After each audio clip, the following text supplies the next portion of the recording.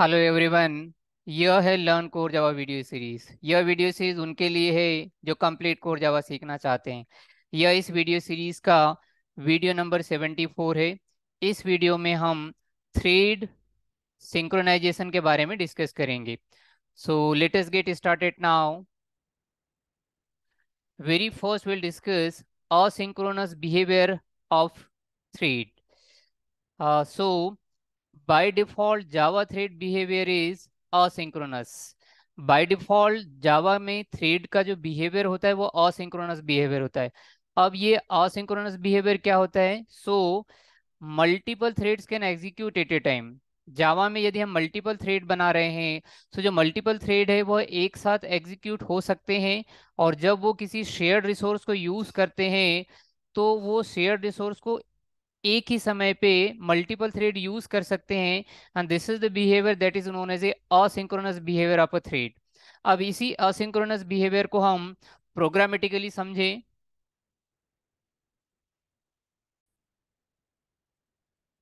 Fine so so, यहाँ पे हमने एक जावा फ़ाइल क्रिएट की हुई है और इस जावा फ़ाइल में हमने थ्रेड के असिंक्रोनस बिहेवियर को डिस्कस करने के लिए कोड लिखा हुआ है।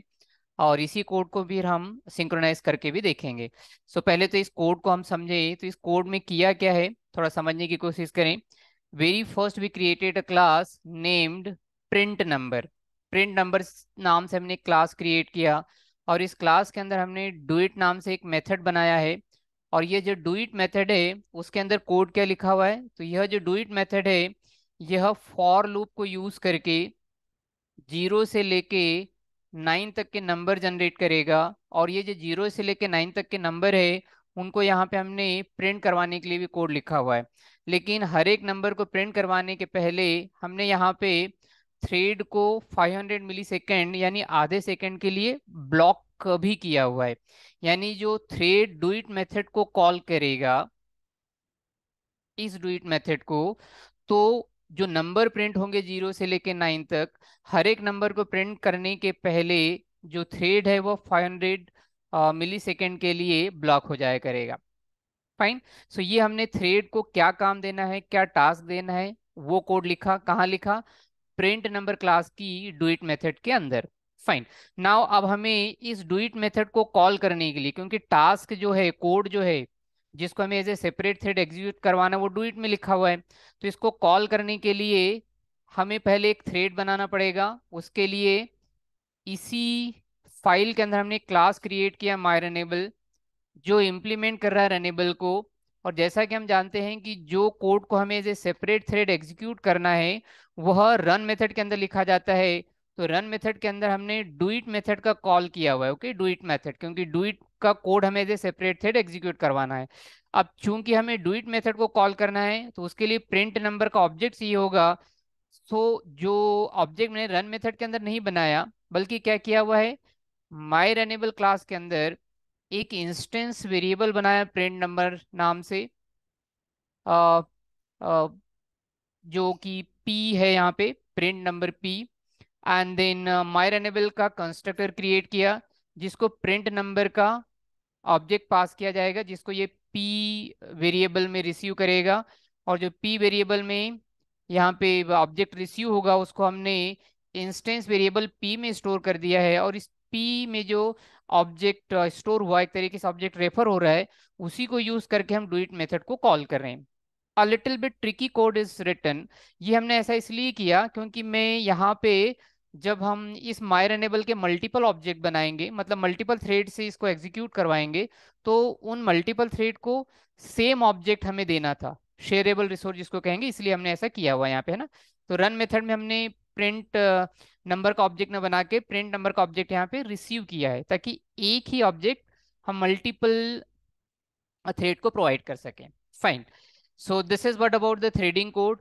अब इसको डेमोन्स्ट्रेट करने के लिए हमने इसी फ़ाइल के अंदर सिंक्रोनाइजेशन डेमो नाम से मेन क्लास बनाया। नाम हमने सिंक्रोनाइजेशन डेमो ही रख दिया, क्योंकि बाद में हम इसी को सिंक्रोनाइजेशन के लिए यूज़ करेंगे। एंड देन इसके अंदर मेन मेथड क्रिएट किया।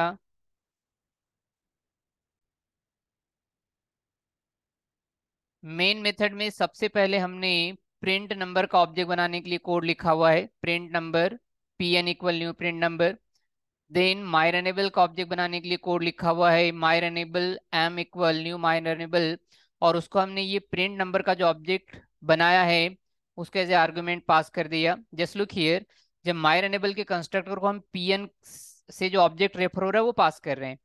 तो यहाँ पे मायर एनेबल के इस कंस्ट्रक्टर में प्रिंट नंबर पी में जो है वह यह प्रिंट नंबर ऑब्जेक्ट पास हो जाएगा, जिसको हमने इस पी इंस्टेंस वेरिएबल में स्टोर करवा दिया है। Okay then next what we did we created one thread object that is being referred by th1 so th1 thread हमने क्रिएट किया और उसको मायर एनेबल का ऑब्जेक्ट दे दिया। देन th2 थ्रेड भी हमने क्रिएट किया और उसको भी एनेबल का ऑब्जेक्ट दे दिया। तो यहाँ पे ध्यान देने बा, वाली बात है कि दोनों th1 और th2 को हमने सेम एनेबल का ऑब्जेक्ट पास किया हुआ है। And the next step what we did th1 पे हमने स्टार्ट मेथड कॉल किया और फिर th2 को यूज़ करके हमने स्टार्ट मेथड को कॉल किया हुआ है। पहले थोड़ा सा मेन मेथड के अंदर हमने जो ऑब्जेक्ट क्रिएट किए हैं, उनको थोड़ा डिस्कस कर ले so that we can understand exactly what is shareable resource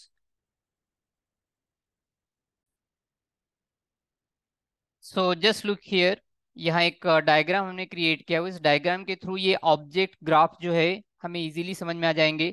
so main method के अंदर सबसे पहले हमने प्रिंट नंबर का ऑब्जेक्ट बनाया। प्रिंट नंबर जो कि पी एन से रेफर हो रहा है तो just look here print number P N जो इस प्रिंट नंबर के ऑब्जेक्ट को रेफर कर रहा है।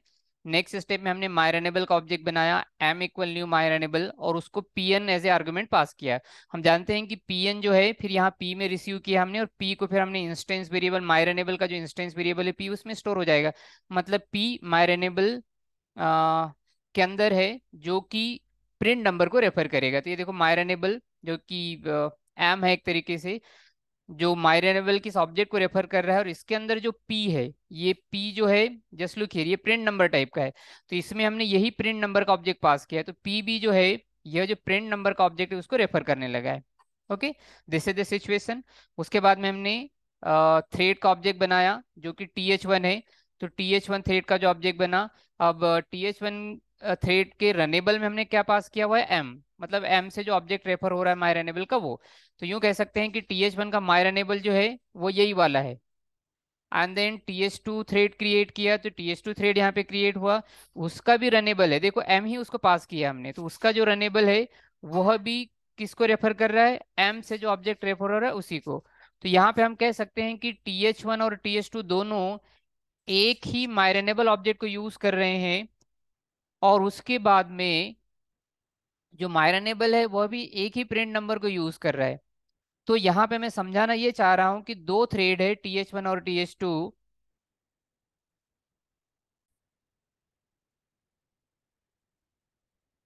ये दोनों टी एच वन और टी एच टू एक ही मायरेनेबल को रेफर कर रहे हैं और मायरेनेबल एक ही प्रिंट नंबर को रेफर कर रहा है। सो यूँ कह सकते हैं कि टी एच वन और टी एच टू दोनों जो है वह प्रिंट नंबर का जो ऑब्जेक्ट है, जो कि एक ही ऑब्जेक्ट है, दो नहीं अलग अलग मतलब टी एच वन के लिए प्रिंट नंबर का ऑब्जेक्ट अलग और टी एच टू के लिए प्रिंट नंबर का ऑब्जेक्ट अलग नहीं है, एक ही है। Okay so that's why we can say जो प्रिंट नंबर का ऑब्जेक्ट है वो शेयरेबल रिसोर्स है किसके लिए? इन दोनों टी एच वन और टी एच टू थ्रेड के लिए। Okay so you can say multiple threads in our example two threads are using single object same object single object and that is known as a shareable resource तो यहाँ पे shareable resource क्या होता है ये हमने डिस्कस किया। अब हम इस प्रोग्राम का एग्जीक्यूशन डिस्कस करेंगे so uh, that so uh, दोनों थ्रेड इस शेयरेबल रिसोर्स का कैसे यूज़ करेंगे और दोनों का एग्जीक्यूशन कैसे क्या होगा वो समझ सकें।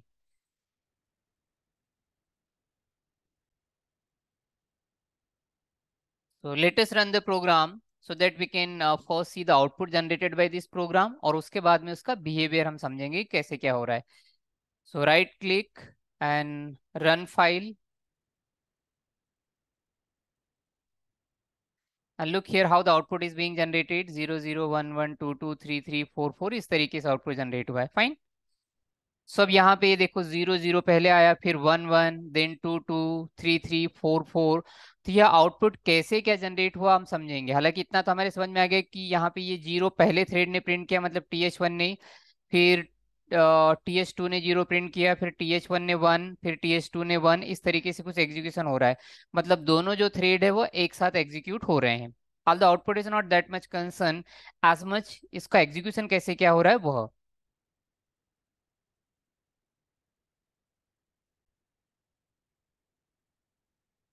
okay so just look here इतना तो हमारे समझ में आ गया कि टी एच वन और टी एच टू दोनों ही जो थ्रेड है, वह सेम प्रिंट नंबर ऑब्जेक्ट को यूज़ कर रहे हैं. That is being referred by P in my runnable तो यह देखो पी तो हम कह सकते हैं कि टी एच वन थ्रेड और टी एच टू थ्रेड जो दोनों थ्रेड है, वह एक ही ऑब्जेक्ट पी को यूज़ कर रहे हैं. पी मतलब ये प्रिंट नंबर का ऑब्जेक्ट हुआ. एंड ये है यहाँ पे shareable resource okay now the thing is what what is going on यहाँ पे देखें थ्रेड का एग्जीक्यूशन कैसे क्या? होता है हमें मालूम है कि पहले हम थ्रेड को स्टार्ट मेथड कॉल करके रनेबल स्टेट में मतलब रेडी टू रन में भिजवाते हैं। तो यहाँ पे मैंने टी एच वन पे स्टार्ट मेथड कॉल किया मतलब पहला थ्रेड जो है वो रनेबल स्टेट में गया रेडी टू रन क्यू में गया? फिर T H two dot start method call किया, जो दूसरा थ्रेड है, वह भी रेडी टू रन क्यू में, यानी रनेबल स्टेट में गया। हालाँकि यहाँ पे टी एच वन थ्रेड पहले रनेबल स्टेट में जा रहा है और टी एच टू थ्रेड जो है वो बाद में रेनेबल स्टेट में जा रहा है। But then only there is no guarantee कि टी एच वन थ्रेड पहले रेनेबल स्टेट में आया तो ये पहले एग्जीक्यूट होगा। और टी एच टू थ्रेड जो है वो बाद में रनेबल स्टेट में आया तो यह बाद में एग्जीक्यूट होगा। यहाँ डिपेंड करता है सीपीयू के ऊपर। मतलब यदि टी एच टू को कभी पहले सीपीयू मिल गया तो टी एच टू का एग्जीक्यूशन पहले स्टार्ट हो जाएगा and then T H one का। खैर, उससे हमें कोई मतलब भी नहीं है कि कौन सा थ्रेड टी एच वन या टी एच टू पहले स्टार्ट होगा, वो हमारा कंसर्न है भी नहीं। दोनों का एग्जीक्यूशन कैसे क्या मैनेज होगा, वो हमारा यहाँ पे कंसर्न है। सो हम मान के चलते हैं कि पहले जो है चूँकि टी एच वन रनेबल में गया तो लेटेस्ट सपोज़ हालाँकि पॉसिबिलिटी भी है कि टी एच वन थ्रेड को पहले सीपीयू अलोकेट होगा और पहले वो अपना एग्जीक्यूशन स्टार्ट करेगा। ओके सो हम मान के चल रहे हैं कि टी एच वन अपना एग्जीक्यूशन पहले स्टार्ट करेगा और टी एच वन यदि एग्जीक्यूशन पहले स्टार्ट करेगा तो एग्जीक्यूशन स्टार्ट होना मतलब रन मेथड का कॉल होना। तो टी एच वन की वजह से रन मेथड कॉल होगी। अब जब टी एच वन की वजह से रन मेथड कॉल होगी तो यह पी ऑब्जेक्ट को यूज़ करके, यानी यह जो पी ऑब्जेक्ट है, उसको यूज़ करके जो टी एच वन थ्रेड है, वह डुइट मेथड को कॉल करेगा। तो अब जो पहला थ्रेड है टी एच वन वह डुइट मेथड को एग्जीक्यूट कर रहा है और डुइट मेथड को एग्जीक्यूट करके आई की वैल्यू जनरेट होगी ज़ीरो और यह 500 मिली सेकेंड के ब्लॉक हो जाएगा। ध्यान से समझना टी एच वन ने जो पी ऑब्जेक्ट है, उसको यूज़ करके डुइट मेथड को कॉल किया और आई की वैल्यू हो गई ज़ीरो पहले थ्रेड के लिए बट वो 500 मिली सेकेंड के लिए ब्लॉक हो गया। तब क्या होगा कि टी एच टू थ्रेड भी तो रनेबल स्टेट में है। तो चूँकि टी एच वन ब्लॉक हो चुका है तो टी एच टू को सीपी अलोकेट हो जाएगा और जब टी एच टू को सीपी यहाँ पे मिल जाएगा तो वह भी अपना एग्जीक्यूशन स्टार्ट करेगा। यानी T H two run method को एग्जीक्यूट करेगा। अब टी एच टू जब रन मेथड को एग्जीक्यूट करेगा तो उसने भी डू मेथड को कॉल करना है। और टी एच टू को भी डू इट मेथड को कॉल करना है बट कौन से ऑब्जेक्ट को यूज़ करके, वही ऑब्जेक्ट को यूज़ करके जो अभी पहला ऑब्जेक्ट यूज़ कर रहा है। पहला ऑब्जेक्ट अभी डू इट मेथड एग्जीक्यूशन इसने कंप्लीट नहीं किया। तो अभी इस पी ऑब्जेक्ट का यूज़ टी एच वन कर रहा है बट उसी समय टी एच टू भी उस ऑब्जेक्ट का यूज़ करने लग जाएगा। ये शेयरेबल रिसोर्स है यहाँ पे ओके तो टी एच टू ने इसी ऑब्जेक्ट को यूज़ करके डू इट मेथड को कॉल कर लिया और उसकी, उसके लिए भी आई की वैल्यू ज़ीरो हो गई टी एच टू थ्रेड के लिए और फिर टी एच टू थ्रेड जो है वो आधे सेकंड के लिए ब्लॉक हो गया। जब यह ब्लॉक हुआ तो पहले थ्रेड का ब्लॉकिंग पीरियड कंप्लीट हुआ टी एच वन का तो उसने ज़ीरो प्रिंट कर दिया। ये फॉर लूप की वजह से ज़ीरो प्रिंट किया। देन टी एच वन फिर से लूप जब चलाएगा यहाँ पे मतलब आई के नेक्स्ट वैल्यू के लिए तो ये फिर ब्लॉक हो जाएगा। तो टी एच टू थ्रेड का ब्लॉकिंग टाइप कंप्लीट हुआ। तो उसने फिर ज़ीरो प्रिंट कर लिया। Then next step you can understand कि फिर टी एच वन का ब्लॉकिंग टाइप कंप्लीट होगा तो वो पी को यूज़ करके यानी वन प्रिंट करेगा फिर ब्लॉक हो जाएगा। तो टी एच टू पी को यूज़ करके वन प्रिंट करेगा फिर टी एच टू ब्लॉक हुआ तो टी एच वन अनब्लॉक होगा और वो पी को यूज़ करके टू प्रिंट करके फिर ब्लॉक हो जाएगा। तो टी एच टू फिर से uh, जब अनब्लॉक होगा तो पी को यूज़ करके टू प्रिंट करेगा तो इस तरीके से यहाँ पे जो दो थ्रेड है टी एच वन और टी एच टू दोनों थ्रेड एक ही रिसोर्स का एक साथ यूज़ कर रहे हैं and this is the behaviour that is उन्होंने से असिंक्रोनस बिहेवियर इसी बिहेवियर को हम थ्रेड का असिंक्रोनस बिहेवियर कहते हैं। क्यों असिंक्रोनस है? क्योंकि यहाँ पे एक थ्रेड टी एच वन जो है, वह एक रिसोर्स यानी पी ऑब्जेक्ट एक रिसोर्स को यूज़ कर रहा है। उसी समय यदि वह ब्लॉक हो गया तो टी एच टू उसी थ्रेड को यूज़ करके अपना काम करने लग गया। मतलब मल्टीपल थ्रेड एक ही रिसोर्स को एक साथ यूज़ कर रहे हैं। ऐसा नहीं कि एक ने अपना काम कर लिया उस रिसोर्स को यूज़ करके मतलब उस रिसोर्स का यूज़ कंप्लीट हो गया तो फिर उस रिसोर्स को कोई दूसरा यूज़ कर रहा है। नो दोनों थ्रेड या मल्टीपल थ्रेड्स एक ही सिंगल रिसोर्स को एक साथ यूज़ कर रहे हैं। And this is the asynchronous behaviour of the thread है ना, ये असिंक्रोनस बिहेवियर हुआ। इससे आपको एडवांटेज भी मिल रहा है, बिल्कुल। क्या एडवांटेज मिल रहा है? कभी ऐसा होता कि टी एच वन पहले इस रिसोर्स को यूज़ करता, तब तक टी एच टू नहीं करता और फिर टी एच टू जब इस रिसोर्स को यूज़ करता तो कोई दूसरा थ्रेड नहीं करता तो उस केस में यहाँ पे जो एग्जीक्यूशन का टाइम है, वो बढ़ जाता। ओके? बट यहाँ पे हो रहा है कि भाई जब टी एच वन ब्लॉक हो गया वो रिसोर्स का उसके पास यूज़ नहीं है तो उस रिसोर्स को कोई दूसरा थ्रेड यूज़ कर ले। जब टी एच टू ब्लॉक हो गया तो उसको टी एच वन यूज़ कर ले। कहने का मतलब है कि जब कोई थ्रेड ब्लॉक है या कहीं और बिज़ी है तो वो एक पर्टिकुलर रिसोर्स को कोई दूसरा यूज़ कर ले। तो यहाँ पे रिसोर्स का यूटिलाइजेशन भी बढ़ रहा है और सीपीयू साइकिल भी कम लग रहे हैं so that multiple threads multiple processes एक साथ एग्जीक्यूट हो सके। इससे जो अपना एप्लीकेशन है, जो प्रोग्राम हमने बनाया, उसकी स्पीड बढ़ेगी। बट समटाइम्स वी रिक्वायर की जो बिहेवियर होना चाहिए, वो असिंक्रोनस बिहेवियर ना होकर सिंक्रोनस बिहेवियर होना चाहिए। यानी यदि कोई एक थ्रेड किसी रिसोर्स को यूज़ कर रहा है तो उसी रिसोर्स को कोई दूसरा थ्रेड यूज़ ना करे। Okay so in that case we should synchronise the thread उस केस में हमें सिंक्रोनाइजेशन करना पड़ेगा। So now we will discuss synchronisation process so, what is synchronization in thread?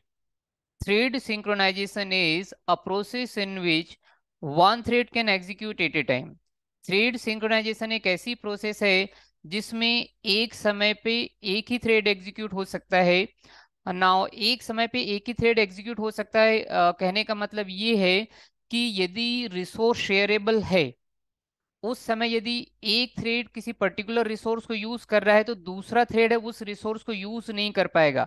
Shareable resource can be use by one thread at a time समझने की कोशिश करना। यहाँ पे यूँ नहीं समझना है कि एक समय पे एक थ्रेड चलेगा, दूसरा चलेगा ही नहीं। यहाँ पे कहने का मतलब है कि यदि एक थ्रेड एक पर्टिकुलर रिसोर्स को यूज़ कर रहा है तो उसी रिसोर्स को कोई दूसरा थ्रेड यूज़ नहीं कर सकता। उसको, उस रिसोर्स को जब पहला थ्रेड छोड़ेगा, तभी यूज़ करने का मौका मिलेगा, ऐसा कुछ। ओके नाउ यदि आपको सिंक्रोनाइजेशन अचीव करना है जावा में so there are two ways to synchronise a thread in Java दो तरीके हैं थ्रेड सिंक्रोनाइज करने के जावा में. First is using synchronised keyword आप सिंक्रोनाइज कीवर्ड को यूज़ कर सकते हो मेथड के साथ में, या फिर यूजिंग सिंक्रोनाइज ब्लॉक या फिर आप सिंक्रोनाइज ब्लॉक का यूज़ कर सकते हो. So now latest discuss the synchronisation using first synchronised keyword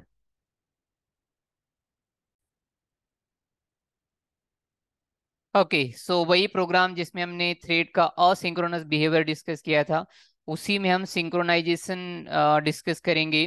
so so, हमने क्या देखा था कि यहाँ पे जो पी ऑब्जेक्ट को यूज़ करके दो थ्रेड अपने ये जो दो थ्रेड है टी एच वन और T H two do it method को कॉल कर रहे हैं। और जब ये डुइट मेथड को कॉल कर रहे हैं तो जो दोनों थ्रेड का जो एग्जीक्यूशन है डुइट मेथड का एग्जीक्यूशन वो एक साथ चल रहा है। तो आपको कुछ नहीं करना, यदि इस डुइट मेथड का एग्जीक्यूशन आपको सिंक्रोनाइज करना है तो इस डुइट मेथड के डिक्लेरेशन में आपको सिंक्रोनाइज्ड कीवर्ड लगा देना है दैट्स इट ओके सो मैंने यहाँ पे देखें, ये जो डुइट मेथड है, जिसको दोनों थ्रेड यूज़ कर रहे हैं, उसके डिक्लेरेशन में उस मेथड के सिग्नेचर में सिंक्रोनाइज कीवर्ड लिख दिया। अब इस प्रोग्राम को मैं एग्जीक्यूट कर रहा हूँ। पहले इसका एग्जीक्यूशन हम देखेंगे कैसे क्या होगा एंड देन उस फ्लो को हम डिस्कस करेंगे कि यहाँ पे एग्जैक्टली हो क्या रहा है। So latest run the program now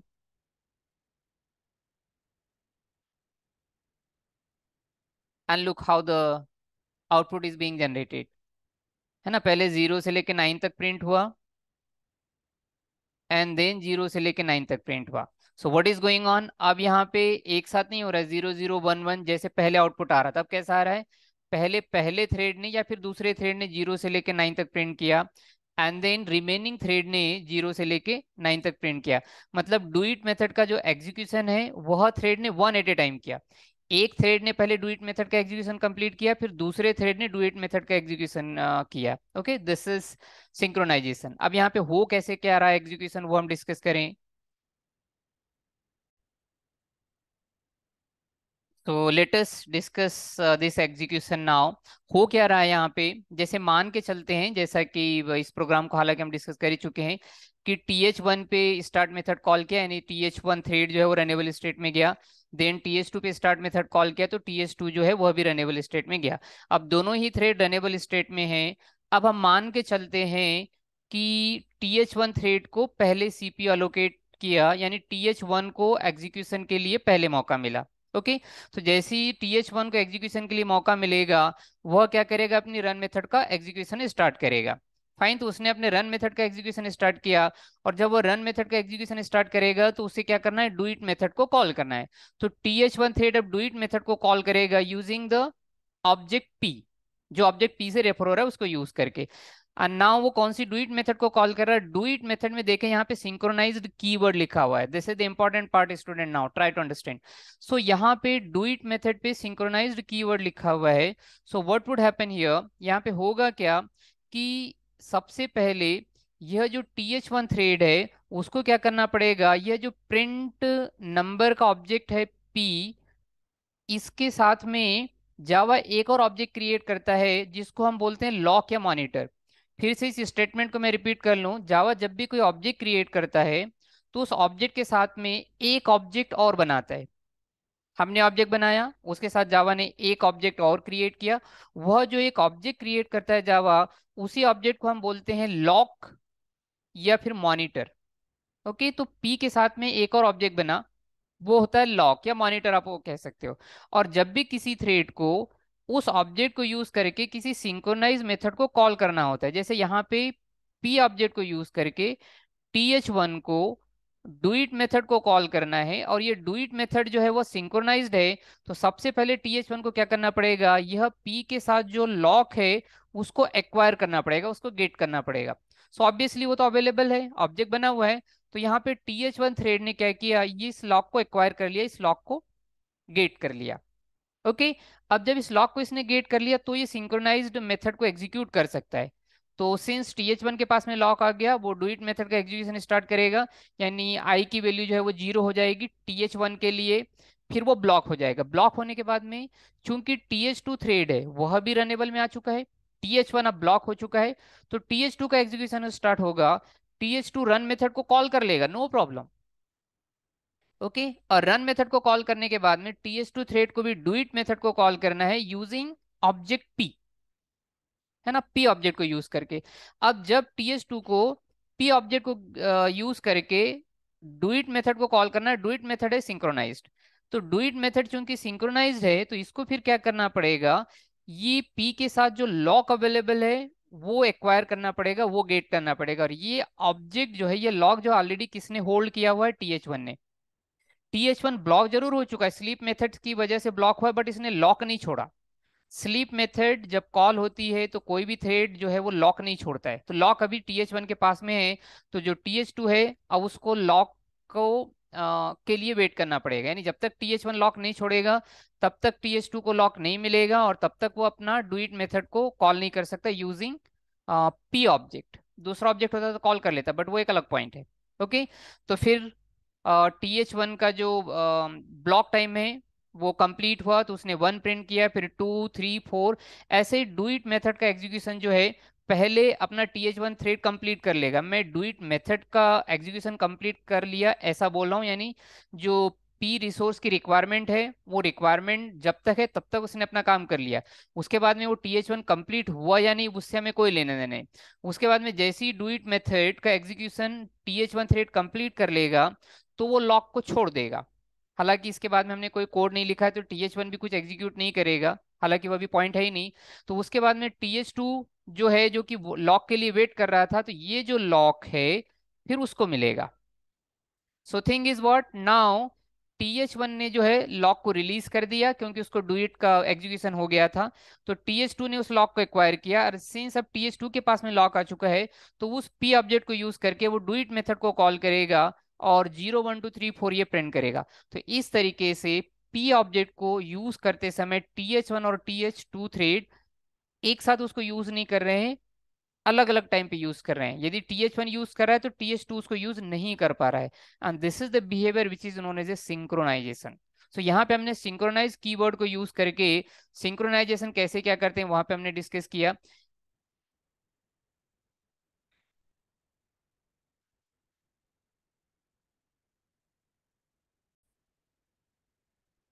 fine so so, जैसा कि मैं पहले ही बता चुका हूँ कि सिंक्रोनाइज कीवर्ड को यूज़ करके आप सिंक्रोनाइजेशन कर सकते हो।